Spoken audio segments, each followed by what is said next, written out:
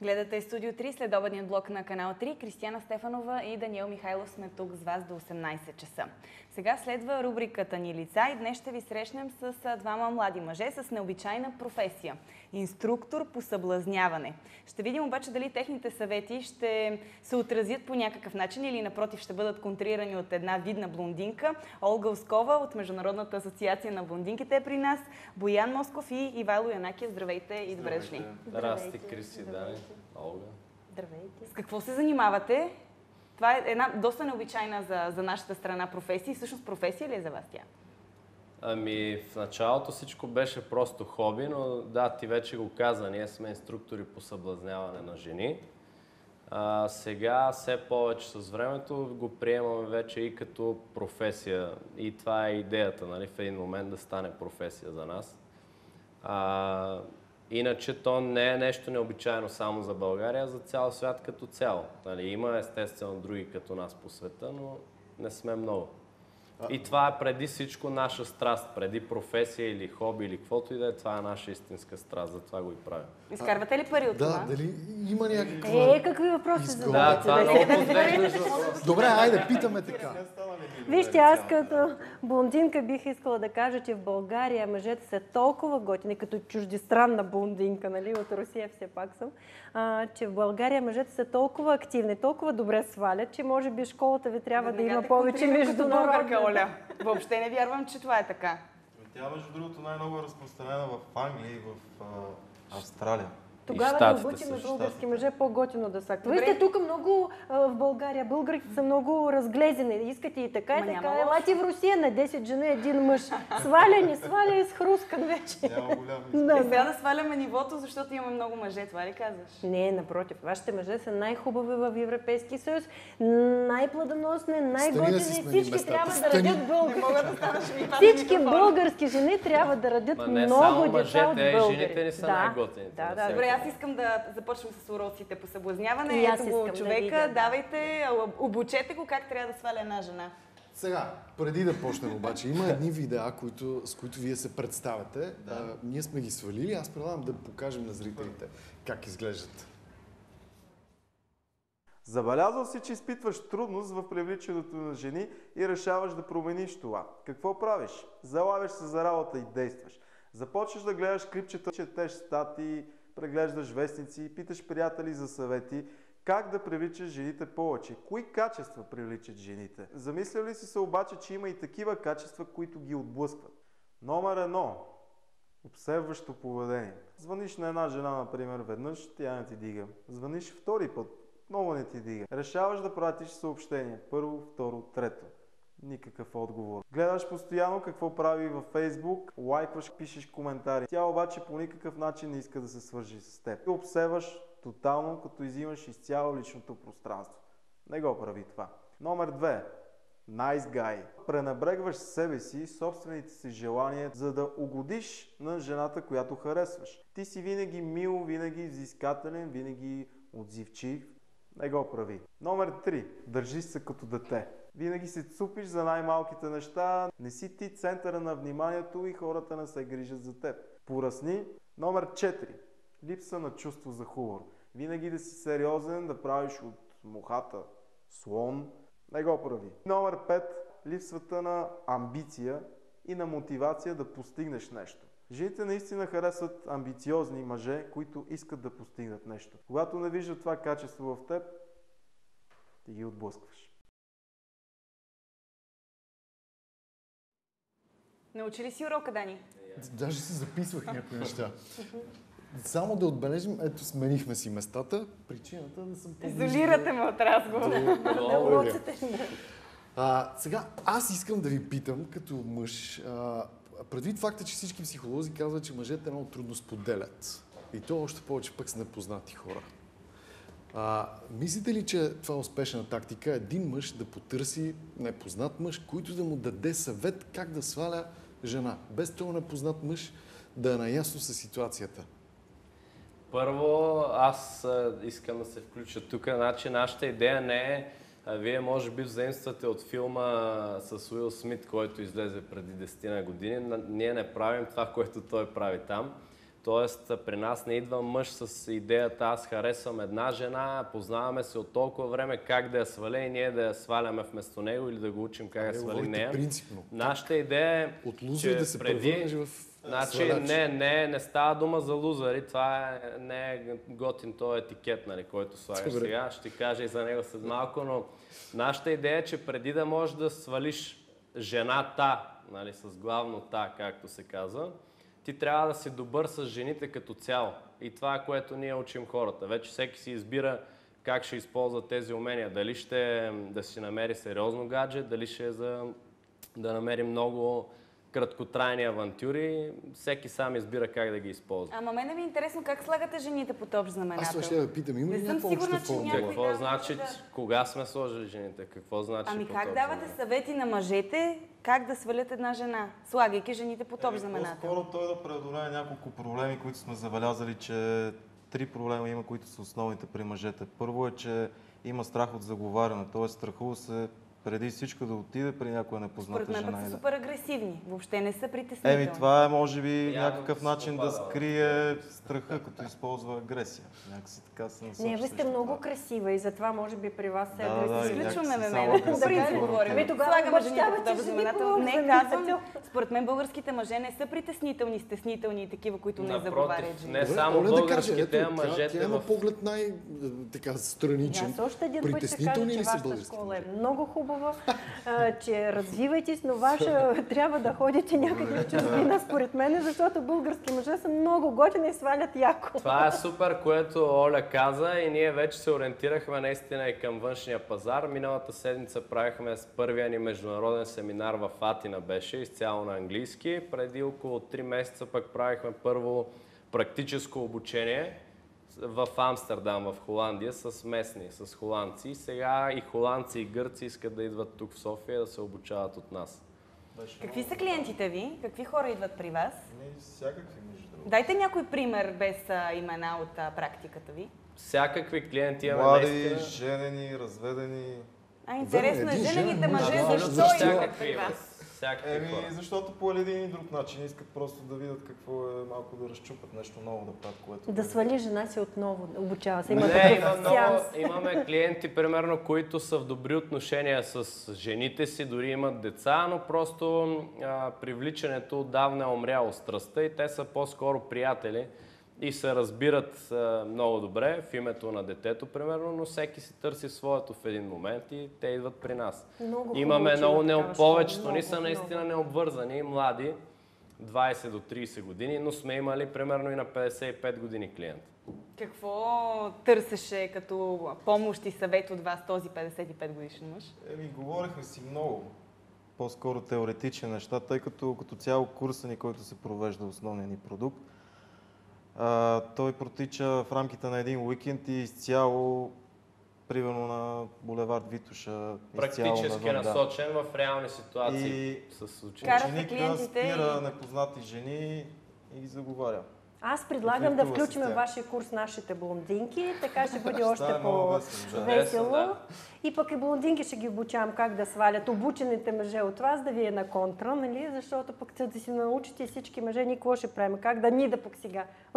нали има лав блондинка, никога няма гладна, как блондинка не се остава на сухо, нали? Да, Е, да. Не, не, не го знам това лав, но вярвам, Е, че... как? Русо- да. русо Русо гладно няма, А, как да, да, да, русо гладно няма, да. Някой на телефона ни чака да го включим Да. в разговора. Здравейте. Здравейте. Заповядайте. А, много са смешни нещата, които говорите. Аз имам конкретен въпрос. Мога ли да изпратя съпруга си на а, подобно обучение, пък да започне да ме сваля и да ме съблазнява отново, че нещо сме го закършили вкъщи? Добре, сега ще питаме. Става ли Естествено, така? че може, да, да, да ни Събужда ли се потърси. любовта по този начин? Любовта може да се събуди. Това е нещо много интересно. Мерси за готиния въпрос, Дани. А, първо обаче да изясним какво е любовта всъщност. Знаете ли вие? Да приемем, че не знаете и сега ще ви кажа. знаем, да. Да приемем, че не знаете какво е, аз ще ви обясня накратко. Любовта е преди всичко действие. Любовта не е нали, тия абстрактни неща, които са ни учили, някакви химии, които никой не ги е виждал, нали, всеки ги е чувал. Любовта е действие и а, какво по-точно имам предвид любовта е това, което правиш ти за твоя партньор. както и той, това, което прави за теб. А, това, че му правиш изненади, че готвиш за него, примерно купил си му подарък или го запазваш резервация за вечеря или изобщо, че искаш да го видиш, че му се обаждаш. Всяко едно такова действие, което развива вашите взаимоотношения, това е всъщност любовта. То е и дори на английски love е глагол. Нали? Тоест, любовта е действие от всякъде, което значи автоматично, че любовта може да се а, възвърне, ако е изгубена веднъж. Момчета, Дори на сила в началото, да. Чака ни поредна на телефона. Здравейте. Ало, Здравейте. здравейте. А, не знам сега дали да се смея или да съжалявам вашите гости. А, с изречението любовта е действие, а, убива всичко. Значи това момче е, просто не е срещнало любовта, за да може да обяснява, че любовта е да сготвиш, да направиш резервация за вечеря. А, не мога да повярвам, че такъв тип момчета, които жестикулират, кръстосват кръчета и се държат като някакви топ свалячи, могат да дадат адекватен съвет, нали, сериозен мъж на 55 години. Преди малко някакъв 55 годишен мъж споменаха, че са търсили съвет. Какъв съвет ще дадат тези момчета? Усмихват се, жан, да, да, да, аз го виждам, че жестикулира. Това им е, това им е силата. А, правят се някакви мачовци и обясняват, че любовта е действие. Момчета, любовта е чувство.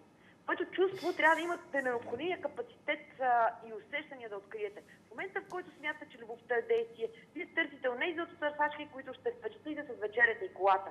Много тъжно за вас аз не мога да повярвам, че такъв тип момченца, радвам се, че а, момченцето с татуировките е прибра кръчето, иначе много така елегантно си го беше кръстосал, другия ръкопляска, страхотни са. Разбирате ли, а, дори по начина по който реагират на моето обаждане, а, показват а, колко са, а, са елементарни и малки в отношението си да работят с жени, да, да общуват с жени. Самият начин по който реагират на обажданията, просто съм изненадана, че, че такъв тип момчета могат да съветват. Не знам какво. Ако Ама хич е не са, не са лоши, много са готини. Аз съм тук, да знаеш. Могат да свалят. Готин- нямаш предател в цялата система. Предател ли съм? Аз ти тип подкрепям, да, обаче са готини, наистина. Няма как такъв тип момчета да ме свалят. Първо трябва да ме убедят, че са умни. Те трябва да знаят, че жената се влюбва в Е, акъла принцип е и в отношението, а не във вечерята. Мили мои прекрасни момчета. Хубава вечер. Добре, благодаря Чао. Чао. обаждането. Чао, чао. Добре, а, да, типични думи от устата на една жена. Нали? Любовта е чувство, естествено тя е по-емоционална, нормално е да говори така, но аз преди да продължа искам да кажа нещо, че а, да искаш съвет от жена за това как да свалиш друга жена е все едно да искаш съвет от а, сляп човек за фотография, примерно. Не, не, не, не. Виж, Така наша че- блондинска организация А. точно такива съвети дават на жените. Така че им има такива. Има, Не става даваме. дума за мъж как да свали жена. Точно обучаваме мъжете как да си свалят блондинките. Да, да, да. Имаш визитка президент, Чакай, трябва да... малко ще ни обясниш за това. Да, това да е чуем малко- още някой. Здравейте. Ало? Здравейте. О, мъж, Мъж. да. Добър ден! Добър ден. Добър ден. Искам да кажа на тези момченца там, че когато си видят пшеници, тогава ще ми говорят за любов. Когато какво? Не искаш да го повтаря. А, Добре, благодаря. добре. Имате ли деца? Не, А имате ли сериозни приятелки? не в момента. Тогава ти не можеш да говориш какво е любов. Любов можеш да кажеш тогава, когато ме си да го изживееш. Значи това не значи, че не съм го изживял, след като в момента нямам сериозна приятелка. Чакай Ами, да чуем ти сега я загубил? как обучават другите блондинки за взаимоотношенията с Ние имаме клетва на блондинки. В тази клетва на блондинки много добре описани правила на поведение по отношение към такива сладки момчета, мъже като вие. Нали? А, и в случая нали, има определени неща, които един мъж трябва да притежава. Най-важното, което е да има лъвско сърце. В това е моята дума лъвско сърце. А, предполага всичко. Да ти носи на ръце, да ти обича, да си грижа се за тебе. Ужас, добре, че и така, и така, и така. Още време. на линия. Здравейте на първия. Май са два. Ало. Ало. В ефир ли съм? Да, заповядайте. Ами, значи, първо искам да кажа, че аз вярвам в максимата, че и за мъжете, и за жените въжи а, следното. Не казвай, че няма да обезумееш, ако се влюбиш и че няма да, за- да поискаш да загърбиш всичко заради любовта. Това е нещото, в което аз вярвам, а всичко останало са полуки и пословици, които си повтарят а, всички, а, които са или препатели от любов, или пък незапознати с любовта и на това учат своите деца. Та- На тази максима. С нея се изчерпва всичко. Не казвай, повтарям още веднъж, не казвай, че няма да обезумея, ако те срещне любовта. Довиждане. Благодарим ви за обаждането. Още някой на линия. Здравейте. Ало, добър ден. Добър ден. Ами, искам а, така един въпрос да задам към момчетата там. Понеже имам лична драма, а, имах контузия наскоро и а, ходех на физиотерапия и се влюбих така леко в физиотерапевта. И а, сега въпросът ми е такъв, как а, мога да разбера да, докъде се разграничава нейната любезност а, в отношенията ни пациент, да. нали, клиент, Да. а, пациент, доктор, извинявам се, и докъде тя може би някъде да ме харесва. Как да го разбера? Добре, благодарим за въпроса. Ми, Според мен най-малкото, ако я поканиш на срещата, ако се съгласи да излезете, значи има по-голям интерес, отколкото да ти Ама това не е ли преминаване на граница, ако тя наистина си Еми, върши тя така работа? или иначе, Как ще поканиш на жена трябва- непозната Е, тя не е среща напозната, жена? нали? Мой физиотерапевт. Все пак имат някакви е- отношения. Това е премината Добре, граница. окей, аз тогава искам да ви кажа, че нашите основни принципи и идеи са винаги да бъдеш директен в намеренията си и искрен, без да прикриваш нищо още от самото начало. Тоест най-простия съвет, който мога да дам на пича, който се обади е, ако наистина я харесва, да й каже директно, че намира за привлекателна, да си поговорят, след което, както Иво каза, да я покани на среща. Това е.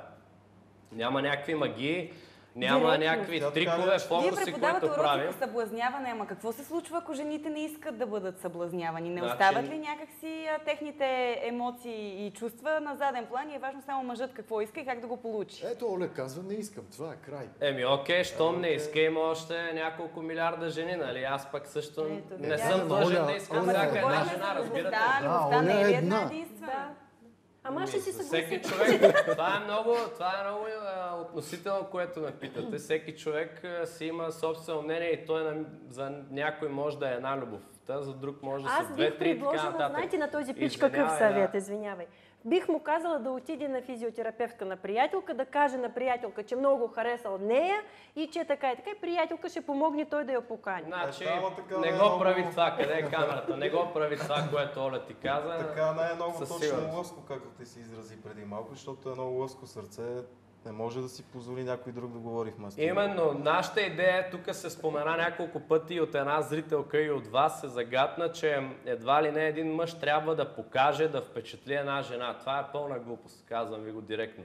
Ние не учим мъжете как... казвам веднага, Извинявай, нали, само ще се изкажа и ще изслушам. Но е, идеята не е да впечатляваме никой, идеята е просто да се научиш да изразяваш себе си, такъв какъвто си, да се приемеш преди всичко с всичките си слаби и силни страни, тогава изграждаш и тая вътрешна увереност, която си личи в поведението ти като цяло. Тоест идеята е да се научиш да изразяваш истинските си намерения и себе си, а и да се забавляваш преди всичко, защото флирта и свалката е забавление. А, вече никой не те кара да впечатляваш който и да е. Ти не трябва да впечатляваш никой. Аз съм много съгласна с това, което каза нашата зрителка, че любовта е чувство, емоции. В този ред на мисли не смятам, че а, който и да било от двата пола трябва да получава насоки. В а, клипчето, което видяхме, се казваше прави това, не прави това. Защо? Имаш усещане за, за човека до тебе и според мен именно това усещане те, те учи. Сега така ще кажа. Нека да обучават мъжете да ни свалят. Но аз ще ви отворя една тайна, може да го включите и във вашите курсове. Една жена, виждайки един мъж на подсъзнателно ниво, разбира този човек става за нея или не става. Това е химия. Жена на е- телефона. Жена, на телефона, слушаме. Да, Да. Здравейте. Ало, здравейте! Много съм впечатлена от това, което казва ам, един от вашите гости, че жената не трябва да се впечатлява, а пък а, мъжът трябва да се стара да изразява себе си. Тоест, аз да разбирам, че вашите гости просто упражняват на жените. Те това явно сега нямат гаджета, защото те просто упражняват да харесват себе си, да избият някакъв комплекс, не да се впечатлят жената. Така ли да разбираме? Това не е новата тенденция на свалки, извинете. Да, добре. Благодаря ви. Благодарим. А, комплекс или впечатление? Еми, аз определено не избивам никакви комплекси, когато А има ли жени, които да ви отказали? Естествено ще има. Това е другото, което е. Ние не сме... То няма такъв човек на света, който да има 100% Аз успеваемост съм с жени. 100% успеваемост. На мен никой мъж не ми е върнал и Добре. не ми е отказал. Супер. Но няма такива хора. Естествено, че и нас ни режат, но идеята а, не е да не те режат никога. Идеята е да свикнеш това нещо, да го преодоляваш или по-скоро да не ти се отразява емоционално по никакъв начин. Това е много хубаво. Което Това е е за друго, мъжете, да. друга част от наши защото основни иначе- принципи. Иначе един мъж може много така да загуби самочувствието си, когато примерно две-три жени поради някакви причини просто не са искали да флиртуват с него или да си говорят. И може да ги възприемете, че като цяло жените не го харесват, което е супер кофти. Страда ли от ниско самочувствие българския мъж? Еми, не съм водил изобщо има ли такива мъже, които- От, вашето наблюдение, не знам. От моята не, нали? От моята лични не, няма. Ми, чак ниско самочувствие, най-просто, но трябва малко Вижте, аз бих предложила на мъже да имат повече пари българ. български, тогава съвсем самочувствие. Да, пари повече. Ако български мъже ще имат повече пари, българки ще работят по-малко, децата ще гледат повече вкъщи, тогава семействата ще бъдат по-добре и мъжете ще бъдат по-спокойни. За съжаление, живеем в такава ситуация, когато трябва да отидеш на заведение да се напрягаш. А този сладур от среща може ли да плати сметка или ти трябва да извадиш Ама защо пари? някой трябва да ти плати сметката, ако ти Ама работиш? защо да Парите не ми плати да- сметка, можеш сега? да сега Да. дошъл да те гушна, честно. Няма да се е прегръщаме, ама много ми е странно това, наистина. Ама защо да не ми плати защо един кавалер трябва да те обезличава, плащайки ти сметките е, е и определяйки ти твоя стандарт на живот. Точно така. Никой не ти Чакай определя стандарта. Ако а, става въпрос за мъж, който получава минимална работна заплата и оттам нататък какво прави? Ти каза, любовта е действие. Да. Той обаче не може да си позволи надграждане на тия действия. Какво прави? Какво значи надграждане? Не можеш да си финансово. позволиш да излезеш с едно момиче да. на разходка ли? можеш, да, Какво ти струва разходката? Сега 0 лева. Идват студени а, месеци. Ей. Трябва да е топлиш, ли? навънка. ти трябва да я Разходките плащаш много добре знаеш, много добре знаеш, че разходките стават в пролетта, есента, лятото. Добре, едно Зимата кафе, колко е? на 5 училище. лева едно кафе. Дори от приятел ще вземеш на заем 5 лева, нали? Ама тя ти ще е... вземе да поръчи още нещо. Идеята, нека това е един нещо, да, Това е един мит, който е много широко разпространен, за Тогава съжаление. каза, че забравя апартамент. Аз в един момент искам да кажа, че ти не трябва да представяш някаква маска пред това момиче. Значи тя трябва, като те харесва, излиза с теб да те приеме такъв какъвто си. Ти в момента, в който не можеш да си позволиш да я водиш по скъпи ресторанти, барове и така нататък, Не, то проблем е, Тя когато трябва- можеш и по-ефтини да водиш. Е, Тогава чак да толкова. няма- Аз не съм срещал до сега човек, нали, който чак да не може да си позволи едно Моли кафе, да не но звънне. идеята не е да, да ходиш и да плащаш и да черпиш, ти не си купуваш жени. Ясно, да. Нали, това е много грешно разбрано. Да чуем и нея. Здравейте.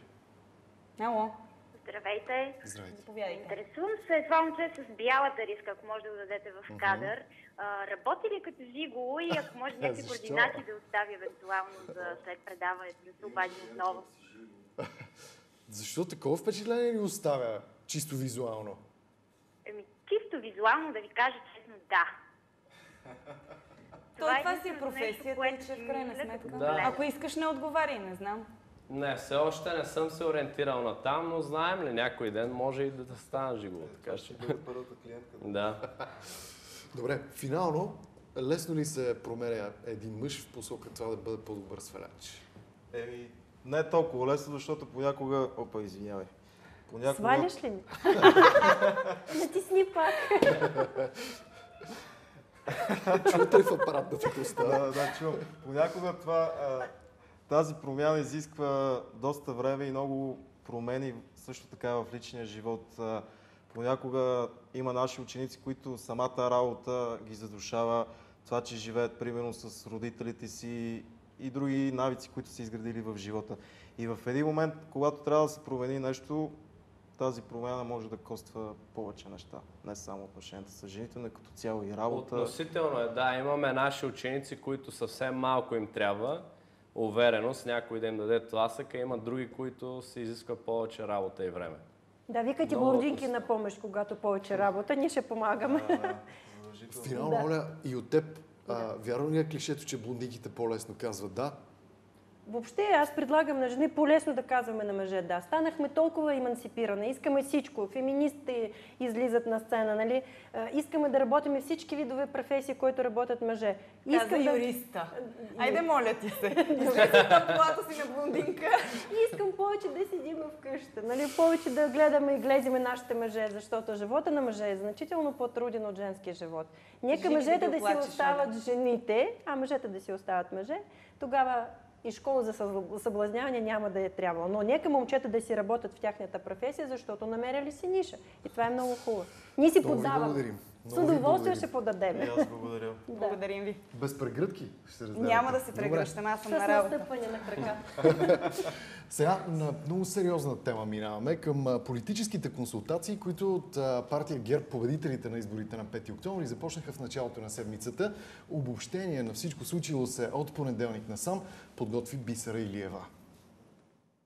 По 8 приоритета обаче ние не постигнахме съгласие и така съвсем очаквано е тези приоритети да касаят преди всичко финансовата и данъчната политика. Там многократно сме изразявали своето различие. Ние сме за ниско, плоско данъчно облагане с минимално иземване от страна на държавата на средства от бизнеса и хората и преразпределението през държавата.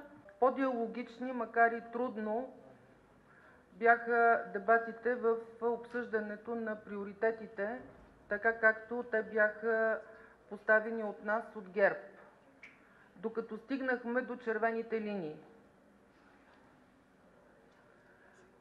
По начина, по който те са формулирани, и броя български граждани и избиратели, които стоят зад тях, е необяснима неотстъпчивостта на колегите от БСП по отношение на тези линии. И за да отговоря конкретно на въпроса Ви, към този момент по-скоро не виждаме основа за бъдещо споразумение управленческо с БСП, освен ако това, което заяви господин Стоилов, не получим в писмена форма преосмислени по друг начин определени тезите, от които те днес поддържаха по категоричен начин и са неприемливи за ГЕРБ. Ние смятаме предложената от ГЕРБ формула за правителство на споделената политическа отговорност за подходяща за сегашното Народно събрание. С група от 84 народни представители няма как да се очаква стабилно управление, а тук съгласието между двата екипа бе категорично, че държавата има нужда от стабилно управление. Пред нас като партия има два възможни изхода. Единият изход е да подкрепим кабинет на младсинството, другият изход е а, да а, вървим към предсрочни избори. Защо няма да подкрепим? Обясних вече защо ще подкрепим такъв кабинет, за да дадем политическа стабилност и шанс да се решат проблемите въпреки че съзнаваме недостатъците на кабинет с 84 народни представители, които стоят зад него и подкрепящо го мнозинство. Това е и основната причина да не приемаме предложението на ДПС за подкрепа на правителство на малцинството, защото смятаме, че можем да получим подкрепа само от политическа сила, която приеме политическо участие в следващия кабинет. Името, което беше споменато по време на обсъжданията от мен, бе името на господин Бисеров като а, символ на прецизиране на политики в сферата на сигурността, когато обсъждахме а, нашите виждания за реформата в ДАНС и МВР. Промените в тези закони, които позволяват такава злоупотреба с власт, трябва да бъдат такива, че да не позволяват. Ние ще подкрепим промени, които повече не позволяват такъв тип управление. Не получихме отговор на важния ни въпрос. Признава ли се правото на най-голямата политическа партия и мандатоносител да определи сама а, своя кандидат за премьер? Знаете, че това е една тема на така, дискусии, подмятания в последните месеци, която на практика минира възможността за гладко преминаване през тези преговори и формиране на мнозинство. А, мисля, че са прекалено много въпросите, на които не получихме отговор. И е, имаме опаснения, че с самата стратегия на преговорите се целеше в края на този отговор, на този разговор и на тези консултации да бъдем предизвикани да ги прекратим. Трябва, трябва да допълня. А, отново казвам, блока влиза в тези консултации с ясното желание да участва в съставяне на стабилно, трайно парламентарно мнозинство. Единственото нещо, което не знам защо се тълкува като условие, за нас е по-скоро абсолютно разбираемо, е, че такова мнозинство трябва да има своята политическа рамка. За блока е изключително важно. И това не са просто думи, а са така, исканията на хората, които са гласували за нас. Аз съм убеден, че и на хората, които са гласували за повечето от другите политически партии.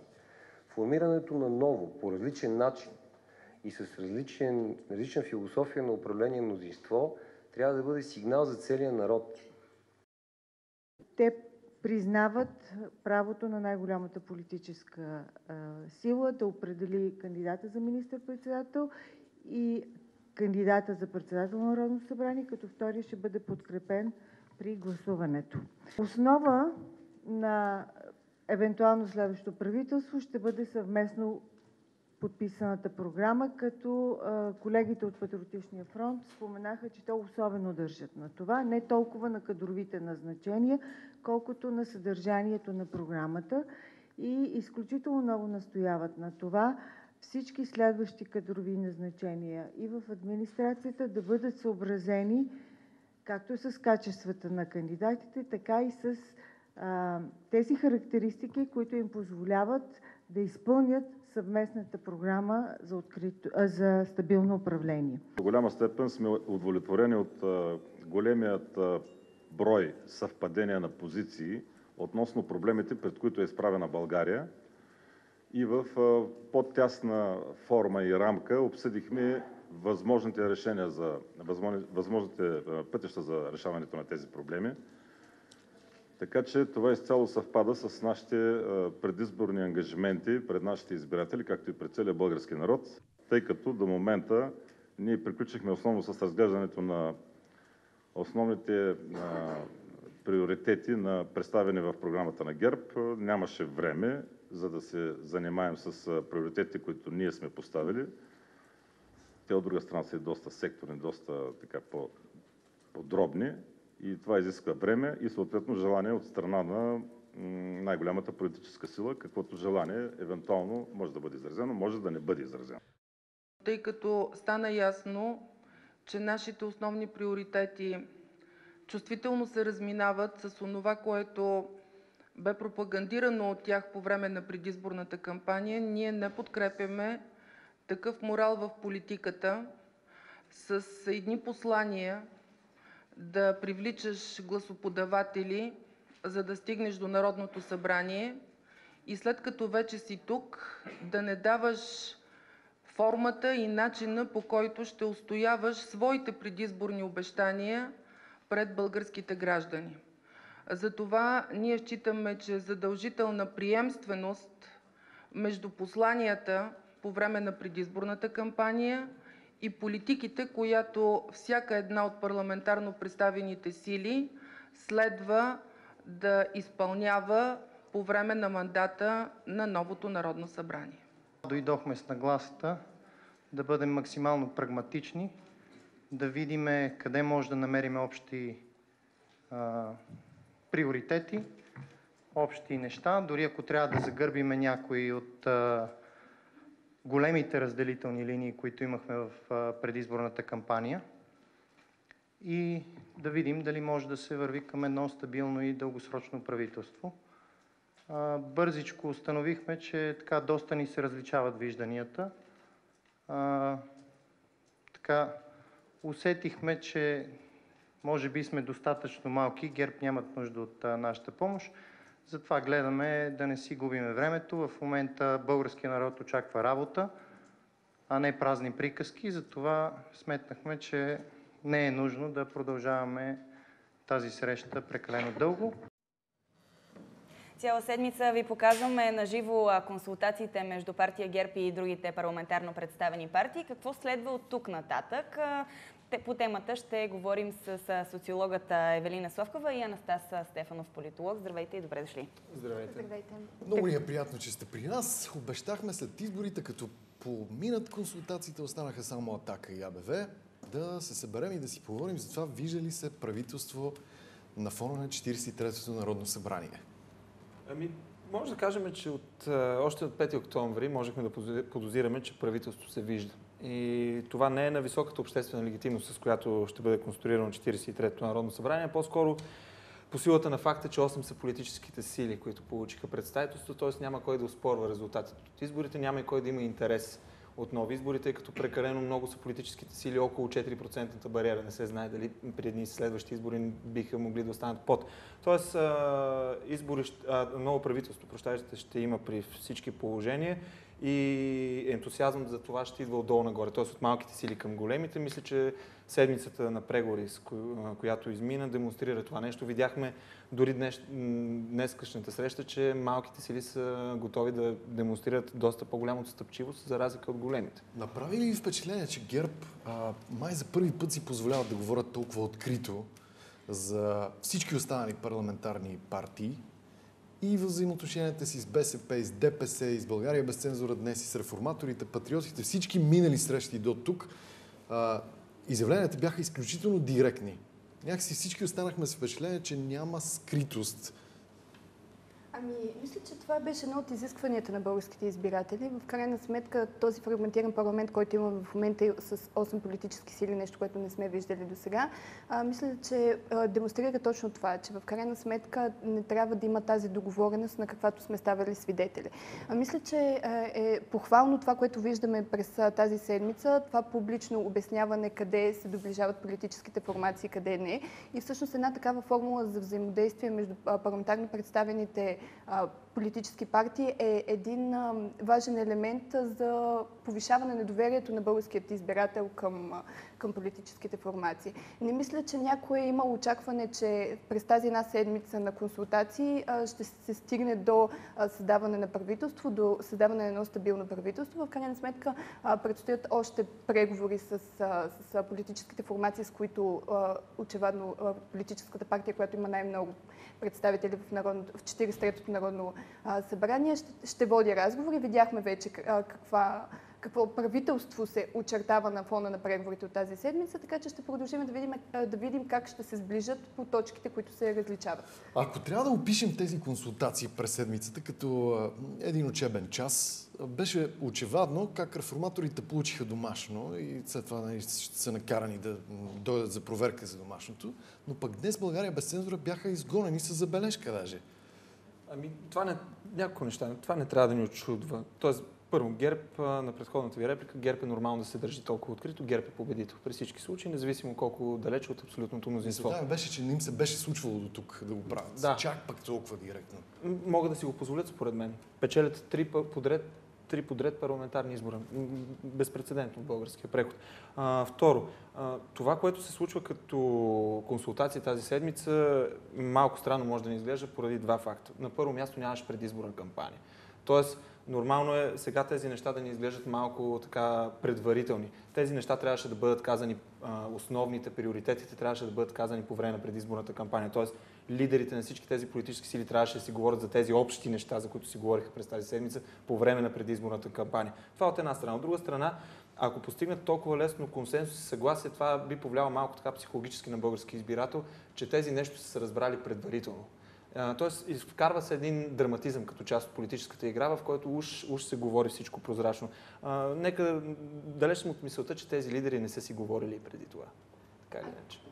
Мога да, да допълня за откритостта на ГЕРБ а, по отношение на тези преговори, в крайна сметка а, те знаят, че много ще загубят, ако нещата се случват зад завесата и че в крайна сметка а, е много важно наистина да излязат в публичното пространство нещата, които се говорят между парламентарно представените политически сили, защото в един момент, тъй като мандатоносител, могат да загубят много, ако правителството се окаже нестабилно или ако има някакви а, неща, които не са говорени в публичното пространство, също са останали скрити като договорки. А, ако беше ясно още преди изборите, че реформаторския блок и ГЕРБ имат много общи а, допирни точки. Те си в а, една партия в Европейския Да, е парламент. Това е, НП. да, това е факт. А, изненада беше като че ли позицията на Патриотичния фронт. Всъщност изненада ли беше? Всъщност не толкова, според мен. А, не е ли объркване на избирателите на Патриотичния фронт, това, че те са готови да направят коалиция с а, ГЕРБ? Ами вижте, ако... Не, според мен не. А, на първо място, защо Патриотичния фло- фронт а, като коалиция е брандиран като, една, като един нов политически субект, ако изключим участието на ВМРО в рамките на коалицията. Второ, ако се вгледаме добре детайлно в отношенията между Валери Симеонов и Борисов на персонално ниво, ако не се вгледаме толкова детайлно в идеологическото, ние ще видим липса на конфликти в предизборния период и в предшестващия го. Тоест няма изгорени мостове, напротив има, има основата да се говори. Това, което може да е очудващо е, че Патриотичният фронт е първият субект, който постига базово съгласие с ГЕРБ. А, както вие казахте, реформаторския блок си отива с домашно и с доста неконсолидирани позиции, струва ми се. Те първо изработват някаква обща позиция. Да, ето тук е е разковничето. Има някой на линия да го чуем и ще продължим след това с коментара от тук. Здравейте! Ало, здравейте, канал 3, здравейте, Сладури и на вашите гости, добре дошли. Ами, обаждаме се от Русе. Ами, правителство ще има, така че да не се притеснява никой, но да не забравят тия другите всичките партии, че това не е Росен Плевнелиев президента, това е Бойко Борисов и той ще се умее да направи така, да има правителство и да заработи. Така че сега те си уне си правят тук разни номера пред хората, пред народа, но тяхните номера няма да върват. Та, просто са сбъркали адреза и вярвам, че Бойко Борисов този път ще успее и България ще тръгне напред, повярвайте ми. Просто съм оптимист и дай Боже така да стане. А на вас ви пожелавам да сте живи и здрави и на вашия собственик на телевизията на народа. Благодаря. Благодарим ви за обаждането. Бойко Борисов споменахме. Защо така категорично отхвърли участието си в тези консултации той? Защо прати трите дами? Като Ами той, той даде заявка, че ще се включи в по-късен етап. Ще има едно отсейване всъщност с кои политически формации може да се води преговори и може да се говори наистина за стабилно правителство и с кои не. В крайна сметка, мисля, че това е това е обяснението, което и той даде, защо не се включва на този етап. Не мисля, че има нещо. А това ли са трите най-силни фигури в ГЕРБ, които могат да водят преговори? Е, от, със сигурност от ясно изразените лица. Все пак имаме бивш председател на бюджетната комисия, бивш председател на Народното събрание и водещо лице с доста натоварена експертиза, като госпожа Румяна Бачварова. И вижте, това, което по-скоро може да ни очуди е, че целият, а, общ, цялата обща атмосфера на преговорите е а, с а, отсъствието на лидерите. Тоест всички екипи са без лидери на практика, като изключим единствения субект, който е без... фронт, които успяха да постигнат съгласие. Да, и, и реформаторския блок, който пък е с прекалено много лидери, както разбрахме да, от те ГЕРБ. са различно. Още, някой на линия. Здравейте. Ало, Ало, заповядайте. добър ден. Добър ден. А, първо, а, предполагам, се чуваме нормално, нали? не? Прекрасно ви чуваме, да. Давайте. А, а, искам да изкажа така своето скромно мнение. Там ли сте? Вече не. Добре, към следващия. Здравейте. Ало. 0889 888 803 и 0889 888 805. Какво следва от тук нататък? Зрител на телефон. Следва зрител. Здравейте, слушаме ви. С, днес, с днешната постъпка искам да поздравя Бойко Борисов, който показа, че не е изобщо зависим от Ахмед Доган и от Делян Пеевски. Добре, ама какво общо имат България без цензура с тези две имена, които споменахте? България без цензура беше патерица на ДПС. Така се пишеше по жълтите вестници. Иначе никой няма пряко доказателство за подобно нещо. Не е ли така? Така е, Мълчание. нали? Следващия зрител. Здравейте. Получава се някакво заплитани така. Да, сега ви чуваме. Давайте. Отплетохме се. Ало, Да, заповядайте, вие сте. обаждам се от Пловдив. Да. А, сега не съм гласувал според а, че 25 години нямаме никаква демокрация. Сега в момента ще има правителство, но до 21, даже ако искате запишете, че 21 февруари ще падне правителство. Като от позицията на какъв... Какво ви, кара, какво ви кара да мислите така? Карана, че по моето мнение, че ако не овладеят зимния сезон за отоплението, за енергията и не дигнат доходите на, хора, на хората и пенсиите, да знаете, че февруари месец хората ще излезнат на бунт. Тоест- Лека вечер ви пожелавам. Повтаряме пак ситуацията от преди да, две години. Възможно ли е да се случи това наистина? Разбира се, че е напълно възможно, но нека, нека все пак да не се абстрахираме от факта, че социално-економическото положение на българите въобще не се е променило и на фона на това вече все повече се прокрадва идеята, че цените на ток са били изкуствено поддържани на по-низки нива и че може би ни очакват дори нови повишения. Тоест от тази гледна точка много ще е важно за правителството бъдещето, което се конструира, как ще издържи зимния период, за да не се окаже така, че прекалено скоро в рамките на самото 43-то Народно събрание да имаме и второ правителство. В принцип. А вярвате ли в тези консултации? Мислите ли, че наистина се случват?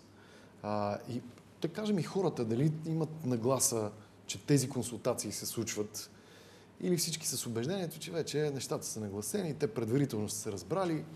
Определено има голям процент от българското население, които смятат, т.е. не голям, но има процент от българското население, които смятат, че тези договорки са направени още отдавна и всъщност сега просто се демонстрира, се прави един опит да се покаже, че политическата система функционира вече по друг начин и че търси а, промяна. Но ам, сега дали са се договорили или не, разбира се, ние няма как да извадим доказателства и да кажем да, договорили са или съответно не са се договорили. Може да интерпретираме това, което виждаме. В момента политическите партии показват и демонстрират едно желание да кореспондират със своите избиратели, нещо, което не видяхме по време на политическата кампания, на предизборната кампания.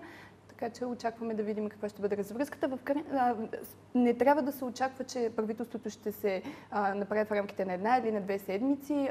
Това, което се дискутираше като формулировка на, новата, на новото правителство и да бъде и широка коалиция. Всъщност ние видяхме, че това няма как да, слож... да стане между двете най-големи а, а, формации, най-малкото защото те чисто сумарно са 123 депутата, което не прави една широка коалиция.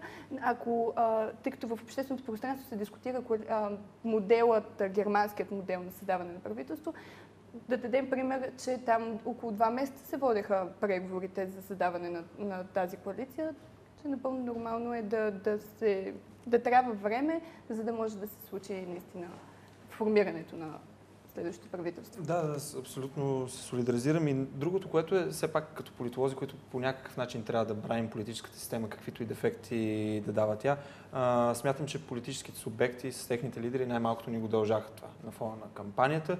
И от друга страна трябва да демонстрират и пред нас като общество, и пред нашите външни партньори, че елитът ни може да си говори а не да произвежда само конфронтации и флашки. Така че смятам, че това, дори да има нещо задколисно, а, все пак е стъпка в правилната посока. Благодарим ви много за това, че, че бяхте при нас. Това е финалът на днешното издание на Студио 3. Пожелаваме ви хубави почивни дни. Ще се видим в понеделник. С тема политика завършваме, обаче ви желаем един аполитичен уикенд и приятни събота и неделя до понеделник в 3 следобед.